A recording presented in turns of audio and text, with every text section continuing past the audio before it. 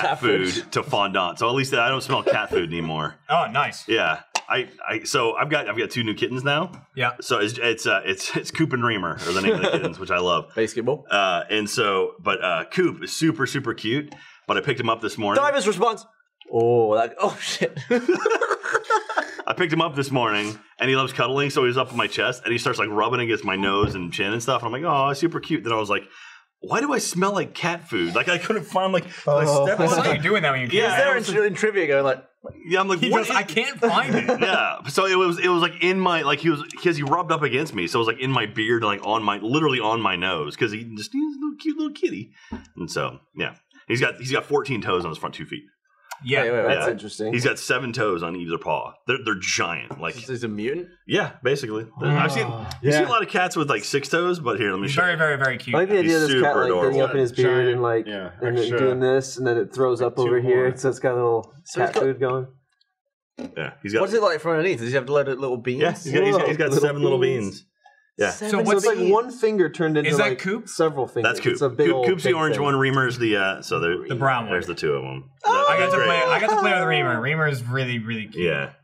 And so it's Coop and Reamer. And so we we brought Ellie, my normal like my cat I've had for a while. My normal. E- Emma is like all about him. Like Emma loves him. They love Emma already. But like introducing cats is always tricky. So we've been Mhm. slowly like, okay, like they've been in our bedroom and our in our bathroom. And then like we'll put him in the bathroom, let Ellie in, let her smell. She knows something's up. And then finally it's like we basically just kind of let them see each other. And Ellie's like, nope, not having it. She was like hissing and pissed off and, and upset and angry. And it's like, well, this will be fun. yeah, so she'll get over it. I mean, like Booker was that way with Zipper whenever I was Zipper. How long? How long did you hold the zipper away from the rest of them before you Well, finally like brought it, him it into actually the house? had to be longer because he was he oh, had he a cold. sick. Yeah, that's right. So he was sick, so we couldn't really let him near. But what we did was, um, once it looked like he was starting to feel better, we um, fed. We kept him in the bathroom and we feed him on one side of the door, and we fed Booker and Scooter on the other side of the door, so they could smell Yeah, each we other did that through with the door. Ziggy just Yeah. now. It was like a Um, week of that. But Booker would like pre, and sometimes we'd crack it a little bit, and Booker would press his head up into the crack, and, just, and you'd sit there and go. Yeah, yeah. Holy hiss, and then if he shit. saw Zipper, he'd hiss and back up. Um, Booker's like the most chill cat too, and so to, to he, hear he stories growls about at him, the doorbell too, though. weird. When so, you- when anyone rings the door, Booker growls at the door, even though he's never has never scratched or bit anybody, and he loves people. But um, yeah, he hissed at Zipper for a while. Then he got over it, but now Zipper's like the bully. Like Zipper bullies Scooter because I think Scooter was a runt because he's tiny, like super tiny. But Scooter's got that like, like he's got a like I, every time I look at him, he's like his face reminds me of one of the bigger cats, like a lion or something, because he's got the the rounded like Mhm. Yeah, snout and but stuff. he's just like, the smallest cat. Like he's Oh, fully really? grown now, and when he sits in the little like the cat loaf, he's like this big. Oh wow. So he's really small, and he recently had to get his teeth like clean. They had to do like a procedure to like clean out his teeth because he had something going on, and so they they had to like give him a uh, like something to make him fall asleep. So they had to shave the lower part of one of his Yeah. arms and then like under here a little bit. And so, um, so I just called him peg leg for the past hour long, but because his leg's so thin under the fur, and it's just started to grow back, and it's really cool because his leg was just one solid color, and then as the fur grew back, you can see one of the stripes that he has like on it. that's Like, so the stripe cool. is starting to grow back, and it's like really weird, and it's just like, oh, that's pretty cool. Why don't humans have stripes? I know, Like, right? I was thinking that. People have birthmarks and stuff. Yeah, Yeah, but those are ugly. They usually are. It's like I was like, I've got a birthmark here. Just Oh. wanted to nail someone with that one. Wash, 'Cause I knew someone was gonna jump in and go, I have one. And I didn't know. Yeah, it was my gonna new be- my new kitten Smee immediately fell in love with because he's great with little kittens and they mm-hmm. cuddle and that. The middle one, Columbo, is just like No. it's the middle child, Yeah. But so, typical. so how, how long do you keep them, the kittens, separated like from the rest of the house? Because like I'm, I'm at the a point now where I'm like, how long should we keep them in there before we I, kind of let them out? week out? sounds good. Week and week and a half, maybe. Yeah. because at the beginning, like they would basically live in uh, behind with a door in between, and I would bring them out to just sort of like hold them near each other, and they would hiss at each other, and then after a week, they never did that. Oh, really? Okay. Hmm. Hopefully Ellie, because like it's it's also two boys too, and Ellie's Ellie's a girl, so it's like I don't know if that'll affect it at all, but it's like Emma is all about them. Like it's funny because Coop loves humans, like Coop loves Katie and I, and like will be very cuddly, and then Reamer loves Emma, and like it, like Reamer's like jumping all over Emma and like biting her ears and stuff. It's Best the- name. You always the have the cutest thing. best names I for was- cats. that Coop was- and Reamer and what, Uday and Uday, Qusay. Qusay. Qusay. and then Ellie Ellie it's Ellie Khan because it's Ellie Genghis Khan, and then Emma Gaddafi. But yeah, Ellie, Ellie, and Emma are kind of like the most normal names. But yeah, Cooper and Reamer. That was because we were like initially it was Katie was calling um the gray calling Reamer blue because he's got like that gray kind of skin and like he looked kind of blue. And then I was like, well, we should call the other one red, so we have red and blue. I think that's kind of cute because it's the orange one. You should I get a was yeah. mouse and call it little bitch. God. No, we have Emma. Emma's the Emma little Food. bitch. Call him bait. And then, uh, and then, Squeak. Then for a while, it was uh, Mr. Darcy and Mr. Binley because Katie's a big Pride and Prejudice fan, Yeah. and I just couldn't say. I was like, Mr. Bingley, Mr. Ah, fuck. And she's like, she's like, okay. Mr. Bigsby. And then, then we were trying to think of like Katie tweeted. She's like, "What are some good pairs?" And a lot of people were like, you know, like Mi- Milo and Otis, like tons of different Abbott Costello, some Hall really and good ones, Hall and Oates. Yeah. And then and then no one said Coop and Reamer. I forget how we said it. Like Katie brought it up and was like, "Oh, Coop," and and I was Anton like, "Oh, Deck. yeah." And then it was Coop and Reamer. so it's it's Joseph R. Cooper and Doug Reamer are the two cats. We, You uh, make the Hello. most British references. I know because I know them. I was gonna, um, you know, with um, Zipper, we totally went on a different trend from what the first two were. Because like the first two, it's like Booker and Scooter, but it's not because like those are like verbs. Like you can book and you can scoot and you can zip, which is what we did eventually. But like those are both video game references, Mm-hmm. right? Borderlands and Booker and, Catch. and Booker Catch, right? Yeah. Bioshock Infinite, which is like why we named them that. But then the third one, we just couldn't. We were gonna call him Shepherd for a while, but like we just couldn't decide on one that we thought was really good, and we're like, you know what? Let's go with Zipper, like, because it fits the whole thing. The and now format. Kat really wants to get a fourth cat. She asks me all the time. To That's get a fourth got to be cat. too Oh, yeah. many. That's I too- thought- and that's what I say. I'm I like, thought- I thought I two thought was you too were the many. one that wanted more. And no, she, she tries to spin it that way. Oh. I wanted the third one. I wanted the Okay, third that- one. yeah, because that's- Katie said her and Kat were like hanging out together when they were picking out ours, and it was like, "Ooh, Kat was getting getting into Oh it." my god! Yeah, she kept coming back like, Jeremy, we could get this cat. We could get this one. I'm like, cat, we can't have four. Like four is way too many. She wants to get one and name it Skipper. So we have Yeah. uh, Booker, Scooter, Zipper, and Skipper. and I'm like, That's kind of great. yeah, I'm like, it's just it's too I gotta many be cats. honest. I didn't really feel much of a jump between going from one cat to going to three cats. It's really like not that much more They work. just keep to themselves, really. Yeah. yeah, I feel you just it'd be like more feed them more. You have dogs. Yeah. Oh, litter boxes. absolutely it is. Yeah. One to two is like an exponential growth Yeah. in dogs. I will say, I- I, mean, I I, haven't had I more went than from three to one over the course of a year, and like the amount of litter you have to clean goes way down. and that was, that's about the only change. It's like, oh wow, yeah, the litter box it doesn't get nearly as dirty, and when you mm-hmm. only have one cat, but it's like, oh, well, I got two slowly more. Moving all of our litter Well- boxes too because they were downstairs, and we have four litter boxes and Where do three you keep them? I never know what, what room they should go in. Well, so mine for a while, where when you walk in my house, they were just to the left because there was like a room that we don't use. It was like- that's a dining formal room area. dining room. Yeah, formal Yeah. dining room area that we don't use for anything. Now we just have like um, framed pictures up on the wall. That's all of our bucket list stuff that we want to do. Nice. Um, so that's like all up on the wall. But then we have one of those. I don't know the name of it. It's kind of that like Asian looking Cop. separator thing. What's it called?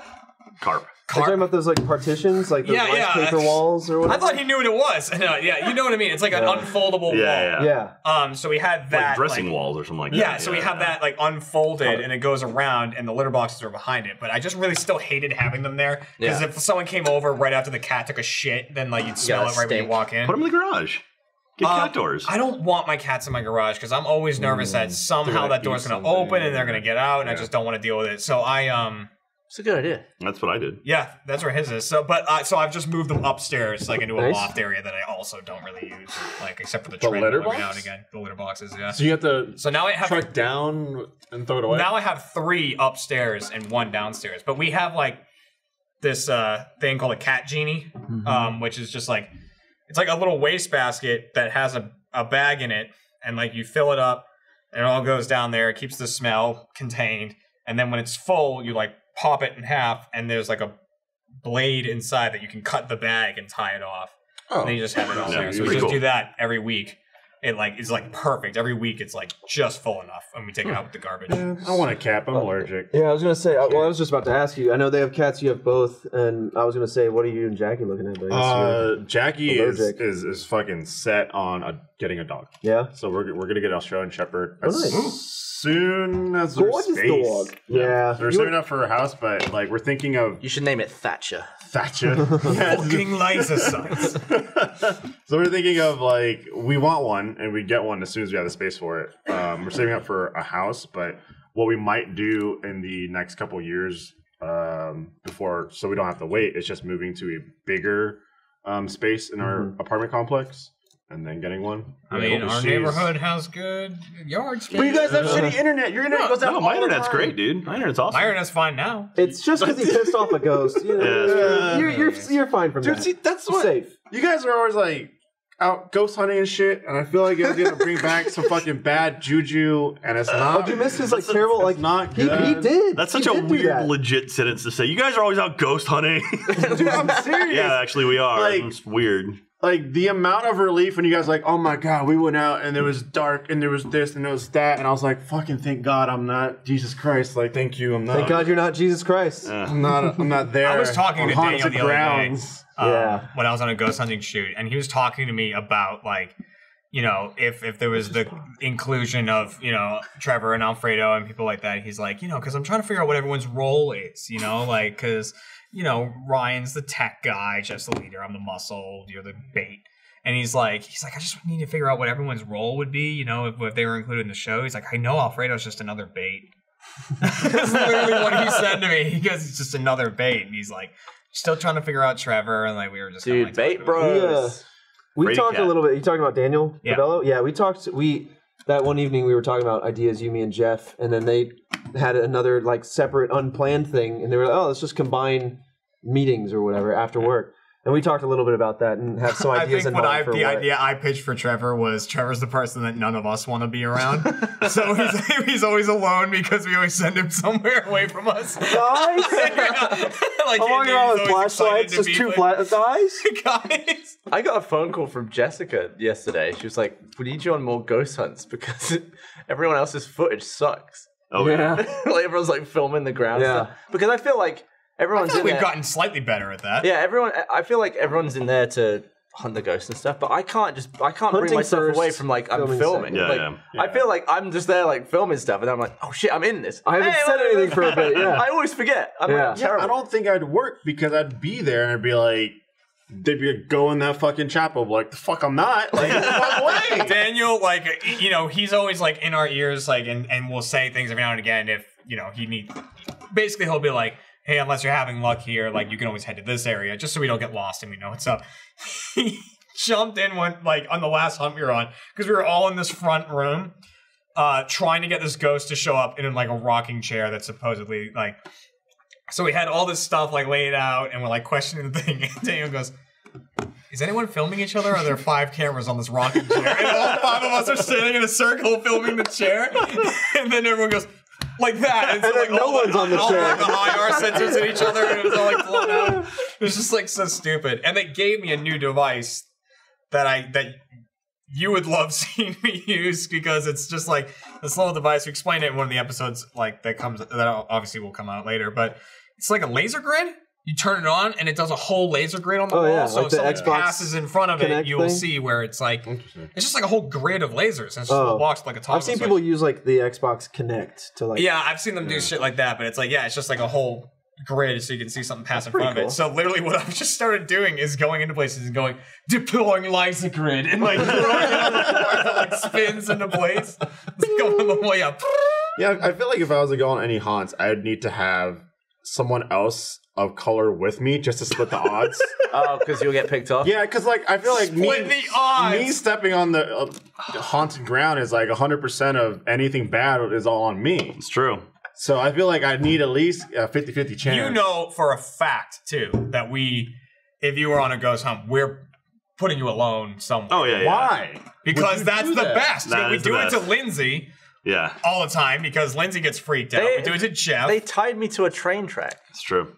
Yeah, I'm good. I, have spent two of the past ghost hunts locked in areas. Yeah, like yeah, literally Jer- put me in areas and Jeremy locked went me in. fucking crazy on the one I was with. He was climbing all over the walls. I did it, I did it literally last time too. climbing over the walls. Like Michael radioed me. He's like, Jeremy, how you doing in there? And I was like, uh, that's gonna be a hard.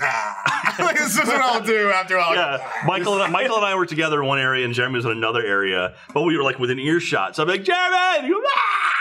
he goes, Jeremy, I go, hey, Jack, how you doing? And he's like, what? I didn't hear that. And I go, bah! and that was the go. And Michael would go, I think he just said bah.